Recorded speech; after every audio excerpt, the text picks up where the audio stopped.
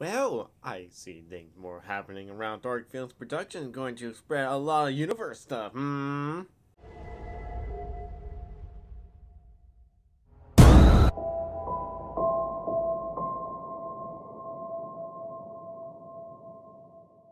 Hey guys, Lord of Flames here, and it's going to be another reveal I'm going to work on soon, and this is the first one. We're going to do a lot of Fury stuff or reviews on DarkFilmz Productions' newest upcoming Minecraft movies are going to come this year to next year.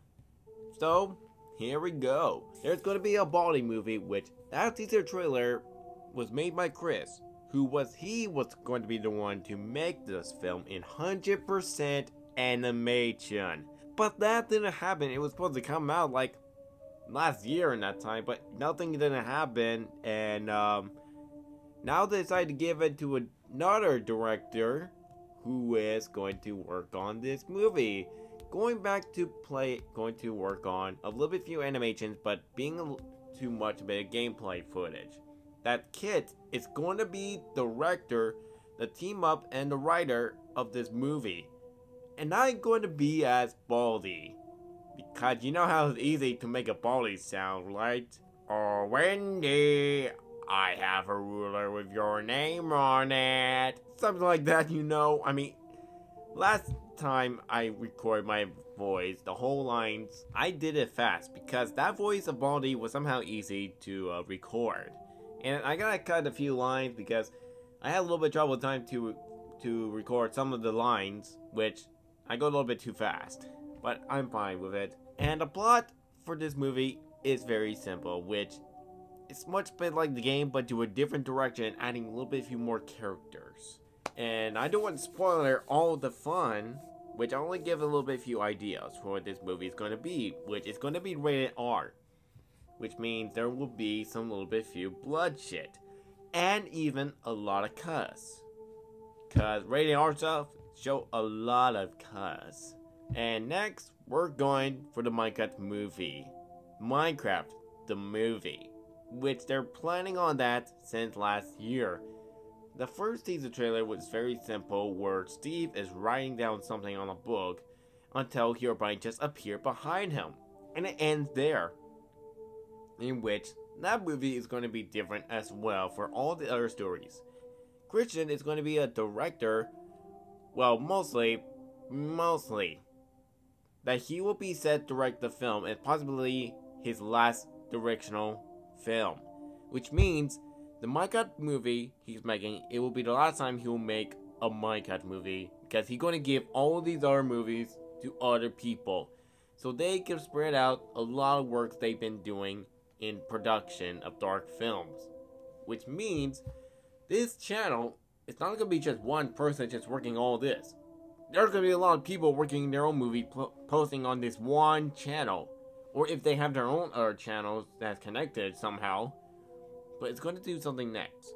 So Chris, which I know him, who made the Nights at Freddy's movies before, who is now going to make the Minecraft movie his last. And I kind of sad to hear that. I mean, I was like, I kind of like the way how he did for his previous movies, but can't believe this is going to be his last. So, the story for the plot is going to be very, very crazy. I mean, a lot of people think it's just simple for Steve going around to explore and learn secrets and then hunt down Ender Dragon or whatnot, very simple in the gameplays. Or rather, it's going to add more enemies.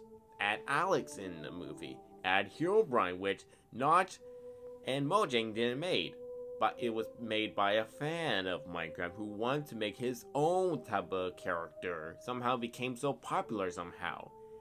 And then here we are for make for them to make this Minecraft movie. I don't because there will be plans if this movie is going to be very very long because it's going to be a lot of stuff adding to this movie. And it's going to add universe stuff because if this movie gets itself a sequel, I have a feeling there are going to be new art enemies that's shown in other Minecraft universes, which there will be an idea of having no or entity fee for free, which those characters are probably like made in creepypasta style or other universe. But that's all because I don't want because I don't know what this movie is gonna be, which I'm so excited for this. And I can't wait for the epic fights of which are going to be full animations. I can't wait. And next is Funnest Freeze Free movie. Ever since the Curse of Springtrap movie came out days ago, in which it was a good one short movie that could end Mike's story from there, ending all the characters who survived from the first movie, and then introduce the new characters who would face the same enemy who survived this whole time becoming a Springtrap, in which I'm going back to play as Springtrap, in which I need to uh, redo my voice a bit, give a little bit more of a William Afton style or something else if they if I am going to have a call on Discord with Chris or Kit or the rest of the creators of this movie to uh they're going to ask me to like hey uh can you make this type of voice like I'm Springtrap or Unspringtrap or to a deeper way.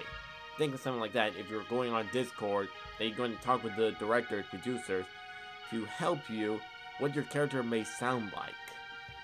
So that sort of thing. And the movie is going to be something epic as well, which there will be plans if it, the movie is going to be two hours long or three hours long because they're going to plan on having a big theme park where you can explore and then go a little bit more things for uh, flashbacks and uh, more locations to explore because this story from the main character is the daughter of Mike Schmidt, which she, which I think is some idea similar to other people's movies that she's going to uh, go to previous locations that have been abandoned and she's going to learn things about what happened to her father, which she never ever even never gets to meet, which is kind of sad. But yeah, She's probably going to explore other locations, previous pizzerias, diners that have been closed, and then probably, probably going to an abandoned location of sister location, in which she might learn what happened to her father or how he got scooped. Because she didn't learn anything about much about him. So they're probably going to have sister locations, and uh, more chase scenes around the theme park if, I don't know, that... roller coaster stuff or um, other places you can go to, which are going to be something epic. And I don't know because I gotta say it's going to be epic. And now we're going with the Cryptu Crepuscule, a Sundown reboot.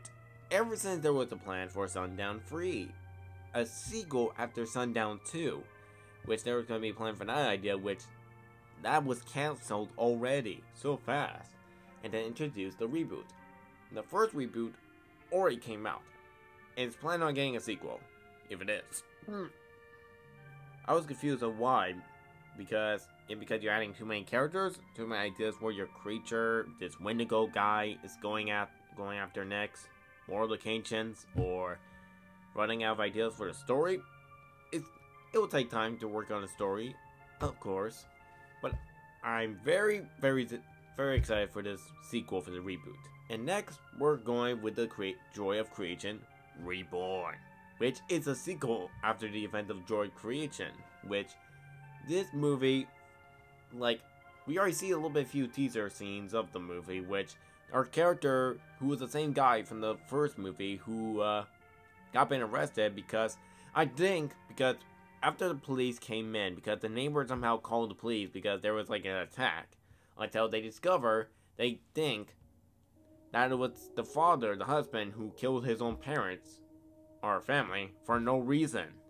Because the son was killed in the ending of the first movie, and they think he think the father is the killer, so they arrest him. But we don't know what happens next if he's going to escape or rather he getting hunted down by the droid creation animatronics because they know he's the one who blew up the pizzeria. And they're going to get revenge on him. And, and I don't know if William Afton's going to show up. If he is. Maybe not. If it's just going to be simple, just him and the animatronics. Which are going to hunt him down. If it's going to have something a little bit similar to the original game a bit, but do it do a different direction, but I'm very excited. I'm still waiting for the Bully Killer movie, which I have a theory which ever since that trailer came out last or two years ago or something. And I think they're only those scenes were that shown in the trailer were the only scenes they made, which means they have recorded all the footage. And they haven't yet finished it because they were busy on other movies or other projects they were planning on. Yeah, that sort of thing, I guess. And that's all I got for this video, folks. I hope you enjoy it! And I can't wait to come back as Springtrap, which... I always come back. Yeah, can't believe I'm going to be a Springtrap who's going to fight off Mike Schmidt's daughter. That sort of thing. So even I'm excited for the Baldi movie, which I'm going to be as Baldi, because I have a feeling any characters I'm going to play as, I'm going to always be a villain type. Which does don't that doesn't have a good laugh after or whatnot. but anyways, I hope you enjoyed this. This is Lord of Flames here. I'll see you guys next time. Bye folks. Have a wonderful day.